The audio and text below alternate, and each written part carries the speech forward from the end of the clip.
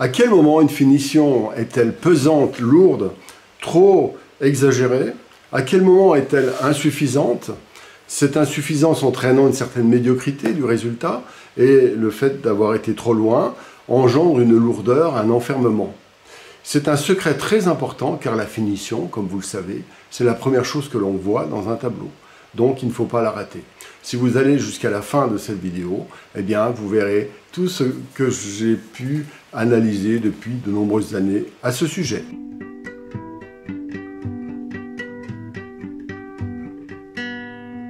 Avant toute chose, une finition dépend du goût personnel.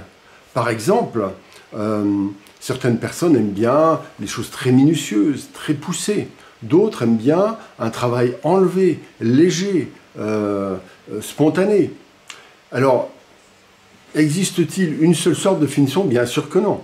Il existe dans la peinture classique des, manières de finir qui sont assez poussées, des glacis, des, répétitions, des, peintres faisaient des tableaux sur des années. Et à l'inverse, certains peintres réalisent euh, à l'aquarelle, je pense aussi à la peinture chinoise, en, en une séance d'une heure, un peintre va accomplir un tableau, réaliser complètement un tableau. Eh bien, cette finition est différente et pourtant elle suit le même processus. Selon notre euh, attitude, notre psychologie, on, peut considérer qu'une chose n'est finie que s'il y a beaucoup, beaucoup de choses, si euh, le tableau a plein de détails, alors que d'autres vont se contenter juste d'un souffle, d'un trait qui sera juste. Et ça, c'est c'est justement euh, la, grandeur de la peinture, c'est la capacité à finir un tableau en fonction de son propre tempérament et en fonction d'un objectif que l'on veut donner. Mais il faut savoir que nous, ne plairons pas à tout le monde. Pour certains, des tableaux classiques très finis vont être euh, insupportablement lourds, et pour d'autres, un, tableau qui a été euh, élégant, avec des traits très subtils, euh, qui donnent une, belle vitalité, vont être considérés par certains, les premiers notamment, euh, que je viens de citer, euh, quelque chose de, ne pas abouti pas fini. Donc, il n'y a pas de règle générale sur l'appréciation ou non de la finition. À quel moment nous passons d'une finition impeccable, très propre, je rappelle encore les peintres classiques, à ce pinaillage qui est très lourd, très, très fatigant et qui, qui encombre l'esprit? C'est pas évident. À quel moment un trait euh, et euh, un trait juste, plein d'énergie, et à quel moment ce même trait est une espèce de, guimauve euh, inintéressante, non maîtrisée. Là, c'est tout un travail de, justement de, pratique intense, de choix, parce qu'en fait, la réalité, c'est que la, finition repose beaucoup sur une certaine attitude mentale, de perception et de ressenti. Là, je vais me permettre simplement de faire maintenant, après avoir euh, fait une certaine introduction, euh, parler d'une chose qui me semble importante, ce que j'appelle la hiérarchie des finitions. Donc, j'ai rassemblé deux petits éléments pour réfléchir sur la, finition. La première, c'est ce que j'appelle la hiérarchie des finitions. Là, je fais un, acte un petit peu arbitraire, mais euh, je pense que c'est très utile. C'est-à-dire que si vous avez un tableau, imaginez un tableau qui soit fait euh, avec plein plein de détails, euh, en haut à droite, à gauche, au milieu, euh, en bas, etc. Partout, plein de détails. Ces détails sont assez bien faits, on va dire, ils sont tous faits à 90%. C'est juste une vue de l'esprit, vous voyez ce que je veux dire. Eh bien, vous aurez une impression de pas fini, curieusement. Alors qu'à l'inverse, si vous avez un tableau où vous avez fait une petite partie, mais vraiment très très bien finie, impeccable, etc., et que tout le reste du tableau, mettons 80% ou 90% du tableau est euh, un peu avancé ou, à peine euh, esquissé, eh bien, euh, il y a un phénomène très curieux, c'est que c'est comme si le cerveau se focalisait sur la petite partie impeccablement terminée et l'étendait à l'ensemble du tableau. Et cette, cette capacité, cette propriété de l'esprit est très importante, et curieusement, quand vous verrez ce genre de tableau, vous aurez un sentiment de finition bien supérieur que dans le premier exemple que j'ai donné, alors que vous avez euh, qu'une petite partie de 10-20% qui est parfaitement terminée. Ça veut dire quoi? Ça veut dire qu'il faut savoir gérer son propre regard et le regard des autres. Tout simplement, Parce que l'esprit fonctionne comme ça. Il remplit les trous. Et il aime remplir les trous. C'est grâce au fait que des zones ne sont pas terminées que le spectateur va s'emparer des espaces pour le nourrir, l'emplir de quelque chose qui peut venir de lui et qui est un petit peu la continuation du, de la partie, par exemple, très finie qui va donner une certaine direction. D'une certaine manière, en laissant des zones vides, en laissant des zones moins finies, vous permettez aux gens de s'approprier la finition et donc quelque part d'être co-créateur du tableau. Vous comprenez ce que je veux dire? Euh, C'est très très très très important. Sinon, vous aurez une impression de, faire un objet qui sera à peu près bien fait, ou même s'il est fini à 100%, eh bien, le spectateur ne pourra pas rentrer dedans et ce serait donc une mauvaise finition. C'est ça le principe du pinaillage dont je parlais tout à l'heure. À l'inverse, si vous avez un tableau donc euh, dans cette hiérarchie euh, des, finitions, euh, si un tableau est à peine esquissé avec quelques petits traits et puis beaucoup d'explications intellectuelles comme dans l'académisme contemporain, vous allez vous trouver quelque chose, vous ne saurez pas où vous fixer, vous ne saurez pas ce qui est dit, vous comprendrez pas.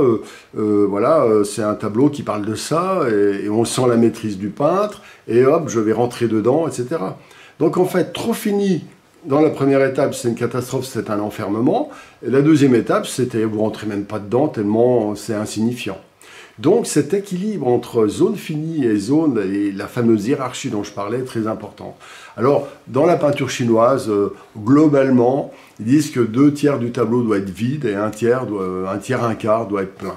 Euh, donc il y a beaucoup, beaucoup de vide, et c'est très, très intéressant à méditer. Je n'ai pas dit que c'était une règle définitive, mais euh, c'est à méditer, à mon avis, parce que c'est une source euh, euh, très importante d'ouverture, non pas par rapport aux autres seulement, mais par rapport à soi-même. Parce que en faisant ça, nous sollicitons dans notre propre esprit, quand nous peignons, des zones, des, des propriétés qui ne sont pas présentes dans notre raison, je dirais, ordinaire.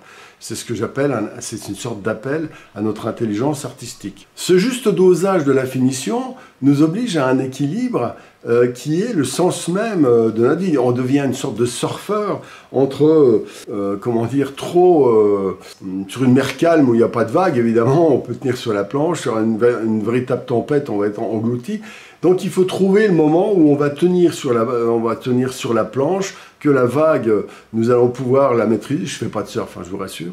Et à partir de ce moment-là, cette quête d'équilibre dans un tourbillon, euh, cet équilibre, c'est, à mon avis, le sens de la finition. La finition, euh, pour les champions de surf, c'est quand vous les voyez, vous savez, dans les tunnels d'eau, euh, quand la vague se, se, retourne complètement. Eh bien, c'est cette euh, vague, c'est cette euh, tenue en équilibre et le, jeu de, tout le tourbillon d'énergie qui est dans le tableau, dans lequel nous devons être comme, comme l'océan ou les vagues dont je parlais, dans lequel nous devons trouver notre place, trouver notre et jouer, nous amuser, etc. La finition, je la vois plus comme ça, c'est une attitude dynamique, et certainement pas une attitude de besogneux euh, qui fait appel à la raison, à des techniques lourdingues, euh, parce que là, nous ne sommes plus dans le domaine de l'art. Alors maintenant, quelle attitude avoir par rapport à la finition? Eh bien, la, finition, euh, moi, je pense que c'est un sujet très important, et il y a malgré tout une attitude très positive qui le permet.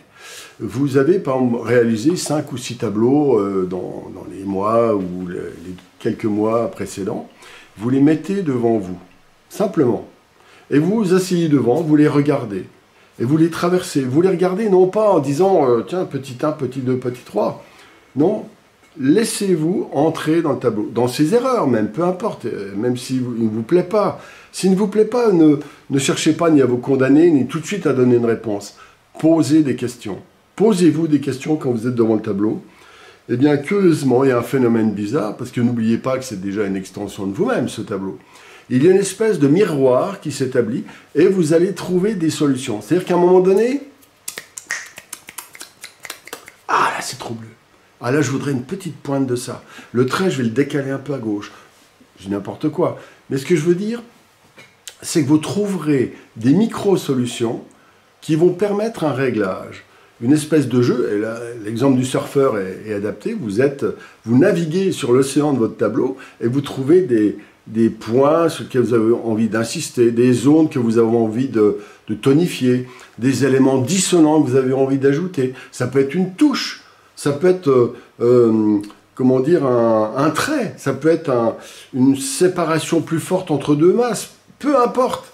Il y, a, une infinité de choses. Ça peut être une modification de couleur, par un glacis, par un trait, par une touche, par, le doigt, par un estompage. Par... Tout est possible, mais laissez-le venir en regardant votre tableau, et votre esprit va naturellement solliciter euh, à cette réponse des, éléments techniques que, que, vous sentirez que vous pouvez réaliser, simplement. Ça, c'est vraiment la clé de la finition.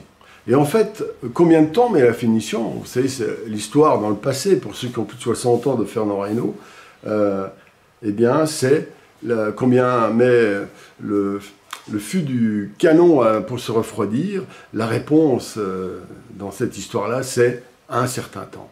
C'est-à-dire ne vous occupez plus du temps. Et le fait que vous ne vous occupiez plus du temps dans cette finition engendre une attitude d'esprit extrêmement réceptive qui touche un peu au mystère, à une forme de magie. Et à ce moment-là, des choses se, débloquent indépendamment du temps. Et ce qui compte, c'est nous sommes dans un monde de quantité euh, extérieurement mais nous devons ainsi développer un monde de qualité. Et c'est cette qualité qui est le sens même de la pratique euh, correcte de la peinture. Donc, mettez-vous devant le tableau, laissez-les parler et laissez le temps. Le temps n'existe pas. Ne vous posez pas de questions, il faut que je reste un quart d'heure. Des fois, la réponse va être immédiate ou des fois, elle va être très longue. Des fois, elle va être simplement des petits réglages. Parfois, c'est une remise en cause complète d'un élément. Ça m'est déjà arrivé de dire, ah, ce personnage, je vais l'enlever, par exemple. D'accord?